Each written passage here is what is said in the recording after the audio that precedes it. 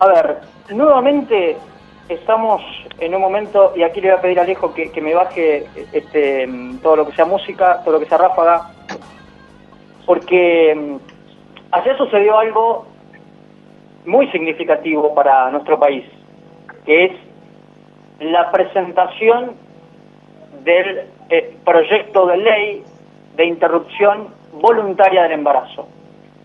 Y yo les pido a todos y a todas ¿eh? los que siempre están, los que siempre mandan mensajes, los que lo hacen y opinan libremente de manera plural ¿eh? con este programa y que lo hacen al 0342 156 1044 32 que concluyamos, ¿sí?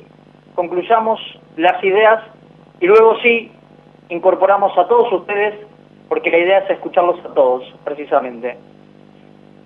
En lo particular, y en mi condición de hombre no me siento competente en algunos puntos para el debate eh, de la interrupción voluntaria del embarazo. Esto quiero aclarar, aclararlo, dejarlo sentado de entrada.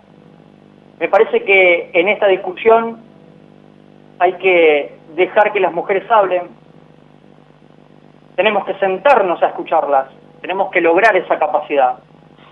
¿Podemos sugerir? Sí, claro, por supuesto pero tenemos que entender que es el momento de ellas. ¿Mm? Y a partir de esto, y como de nuevo en condición de hombre, ¿desde dónde puedo decidir u obligar a las mujeres, no? Entonces, tenemos que comprender que la historia nos está atravesando y que el debate en el mundo se está dando. Creo que tenemos que empatizar, acompañar y bregar por una ley que las proteja. Yo he leído de todo, he escuchado todo en estas últimas horas, porque es un tema que atraviesa, ¿no? Muchos creen que con este proyecto de ley, y cuando digo muchos me estoy refiriendo a los hombres y las mujeres, eh, creen que a través de este proyecto de ley vamos a ver grandes filas de mujeres eh, solicitando abortos, casi como sacar un turno para hacer un trámite. Mamá, mañana voy a Lancet, ya saqué turno. Papá, me voy mañana este, a la FIP porque tengo que hacer un trámite, ya saqué turno. Me parece que hay que tratar de empatizar y pensar el debate que se va a dar en las próximas semanas. El tema del aborto es un tema dificilísimo. Acá, antes, después y en cualquier lugar del mundo. Es importante que se vuelva a producir este debate para ver cómo se enfrenta este tema. Entonces, miremoslo con una lupa de empatía y alejados, porque si vamos a hacer juicio de valor por si mato o no mato, la discusión se termina ahí. Entonces yo les pido a todos que empiecen a analizar todos los puntos. Porque en este marco, creo yo que tanto hombres como mujeres no están a favor del aborto. Lo que sí sé es que la penalización del aborto en este país no ha servido ni sirve para nada. Y en este marco nadie puede hacerse el desentendido en este país, en esta Argentina, y no ver que la persona que tiene los recursos para practicarse un aborto va, lo realiza en un lugar adecuado, y mediante esto la persona en general no tiene ninguna complicación. Después tenemos lo otro, la persona que no tiene ese dinero va y lo hace en un lugar no apropiado y tiene complicaciones.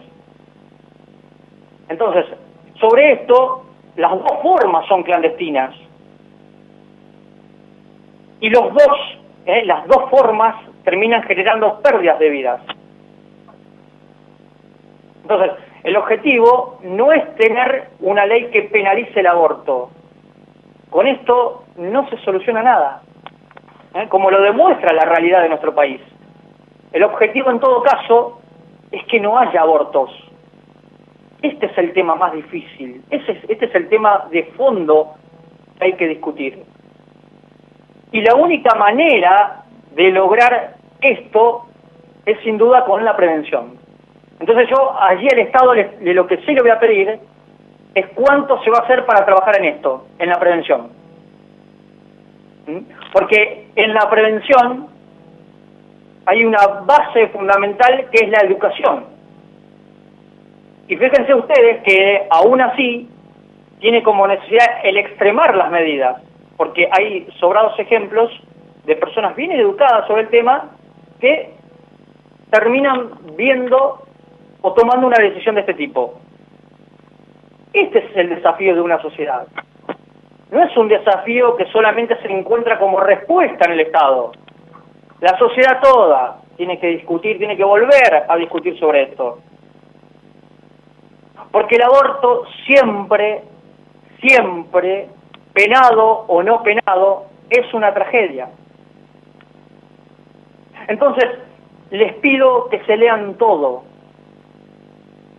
que investiguen, que estén dispuestos al debate con argumentos y que en este caso los hombres tratemos en lo posible ¿eh? de evitar opinar libremente sobre un tema exclusivo de la mujer. Podemos hacerlo desde el punto de vista con argumentos y no si no, mirá, estás matando, estás haciendo esto, aquello. Porque déjame decirte una cosa, nosotros los hombres no entendemos el proceso que hay dentro de una mujer que tiene que pasar por un trauma que es un aborto. Lo que sí le pido a los legisladores es que legislen sobre una ley que no venga a promover abortos masivos, ¿eh? que se promuevan espacios para que la mujer evite esta instancia dolorosa. Y si la decisión está tomada, entonces que se le brinde el lugar adecuado para hacerlo porque es un tema de salud pública, ni más ni menos. Por eso les pido a todos y a todas que empecemos a abrir el juego y a debatir con altura, con argumentos. No, eh, eh, este, lo que he visto, eh, el fundamentalismo de un lado y del otro, de taxativamente bajar el martillo sin tener la necesidad de empezar a por lo menos pensar lo que se está por legislar porque si no como sociedad no vamos a avanzar.